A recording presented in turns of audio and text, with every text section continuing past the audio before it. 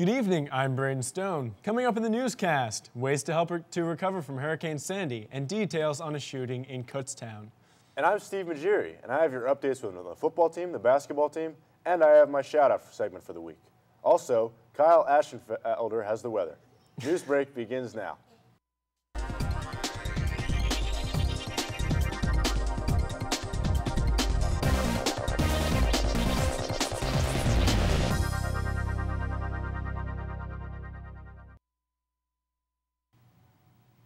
Hunger and Homelessness Awareness Week is this week, and all week there will be a food drive. Bring your non-perishable foods to the Community Outreach Center tomorrow, Wednesday the 14th. Join Oxfam America in lobbying Congress for food justice. This event will be held in the MSU from 11 to 2, and you can stop in anytime during those hours. Berks County detectives are investigating an early morning shooting in Kutztown on Saturday where both a suspect and an off-duty officer fired shots. A car carrying three males drove through an intersection at about 2.30 a.m. in the three, uh, 300 block of Main Street in Kutztown, where a group of seven males were walking across the street. The car pulled over and the three males confronted the other group. The driver admitted to firing the shots and said a handgun found inside the car was in fact his. The driver has a gun permit, and all three men were released pending further investigation. Their names have not been released because they have not been charged with a crime. Let's take a look at last week's video game competition, sponsored by ACE.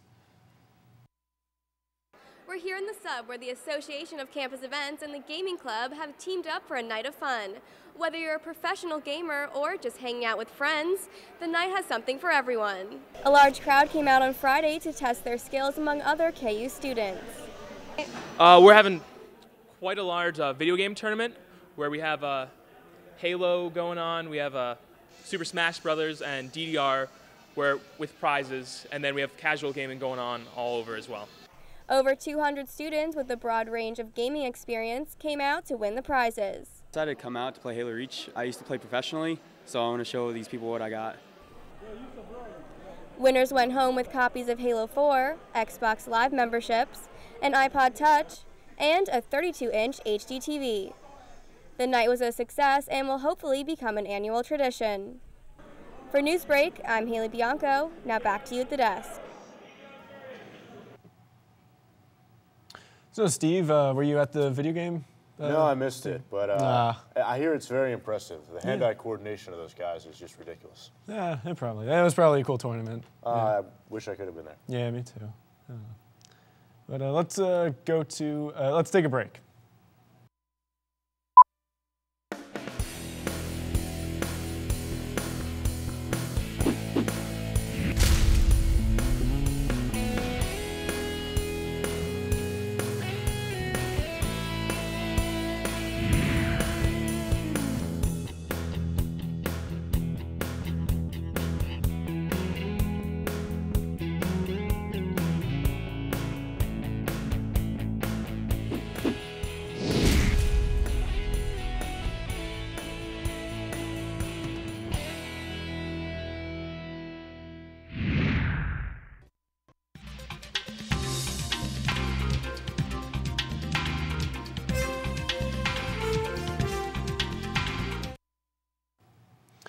So Steve, the weather's been really weird lately. It was yeah, it was fairly warm yesterday. Then it's other days it's been cold. Like today, yeah. I say we I say we have Kyle give us the five day forecast. We yeah. know what to expect. Kyle, what, what are we hoping? What are we looking at? Well, uh, guys, it has been a little warm lately, but it is it is getting uh, colder today. It was pretty cold tonight too. Uh, when Braden and I went out to move our cars, it was really cold, so it's getting chilly again. Uh, today we had a high of 37. It was partly cloudy, so some of the day was sunny and some of the day was just dreary. Anyway, tonight we're to have a low of 32. It'll be partly cloudy again, so if you want to go stargazing, uh, time it right. Uh, tomorrow we have a high of 37. It'll be partly cloudy and a low of 32. And for the rest of the week, it should be pretty, pretty dry for the most part. On Thursday, we have a high of 44, partly cloudy. On Friday, a nice sun, sunshiny day with 48 degrees. On Saturday, we're getting into that spring weather again. Uh, it's going to be a high of uh, 53 and a low of 36. On Sunday, and of course Sunday, of course it'd be sunny. It's Sunday, come on.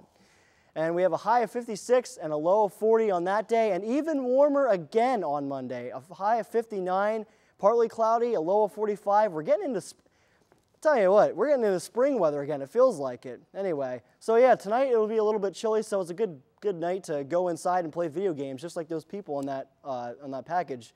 So go enjoy your video games, especially Black Ops 2. Go for it. Have a good evening, everybody. Back to you two studs at the desk. The White House petition website has been flooded by a series of secession requests, with malcontent from New, to, from New Jersey to North Dakota, submitting their petitions to allow their states to withdraw from the Union. All told, petitions have been filed on behalf of 20 Democratic and Republican states alike.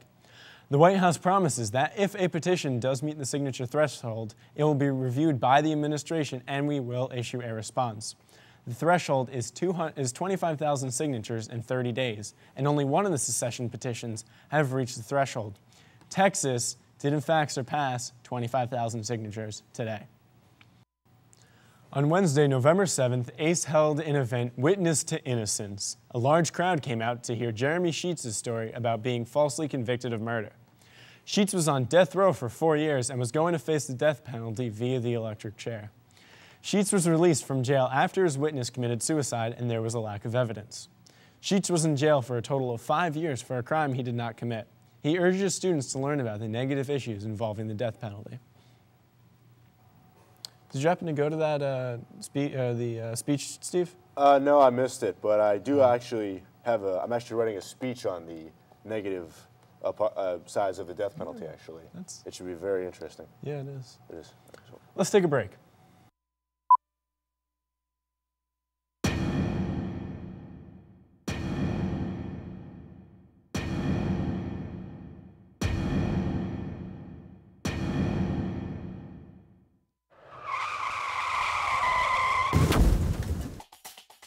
Kick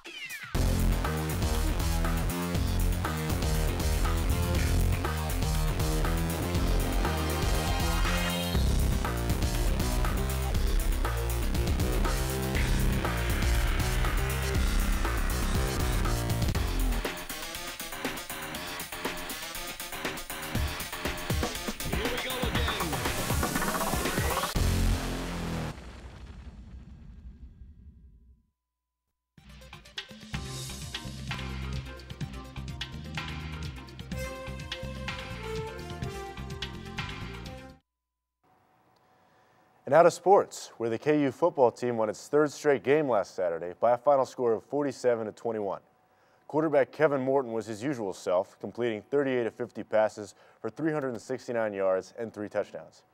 Brett Fox and Zach Snyder each had 100 yards receiving and each had a score.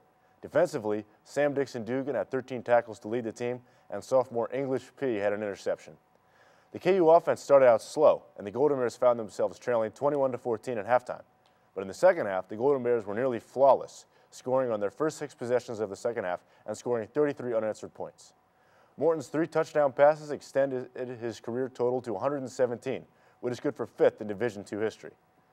The Golden Bears will look to salvage their season and end it on a high note when they play their final game of the season against LIU Post.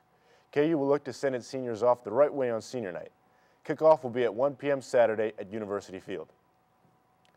And now to men's basketball, where the Golden Bears fell short in a close, well-fought game against Concord with a final score of 79 to 73. KU was nursing a small lead heading into the fourth as the teams went back and forth throughout the contest until Concord took the lead with 10 minutes to go and then took the lead for good with 80 seconds to go. KU had trouble on the glass all night as they gave up 13 offensive rebounds to Concord. KU did hit 90%, 95% of its free throws, but their bench was only able to register 10 points to Concord's 34. Senior Micah Fraction led KU with 28 points and Tyler Brooks chipped in with 17, but Concord's balanced scoring attack proved too much in the end. KU falls to 0-2 on the season with the loss and will look to get back on track tomorrow night at Wilmington. And now for my shout-out segment. This shout-out goes to those affected by Hurricane Sandy. I wanted to give this shout-out last week, but as you know, I was unable to be on the air at that night, and I still think this still deserves mention. Hurricane Sandy has taken the lives of more than 80 people as of now, and it has left countless people homeless. Financial losses from the hurricane are in the vicinity of 50 billion. We need to come together as a community and help those affected by the hurricane as they go through this troubling time in their life. The American Red Cross Association is accepting donations in many different ways. To help, you can donate $10 by simply texting the word Red Cross to 90999. A simple act of altruism like this can go a long way, and these victims need our help.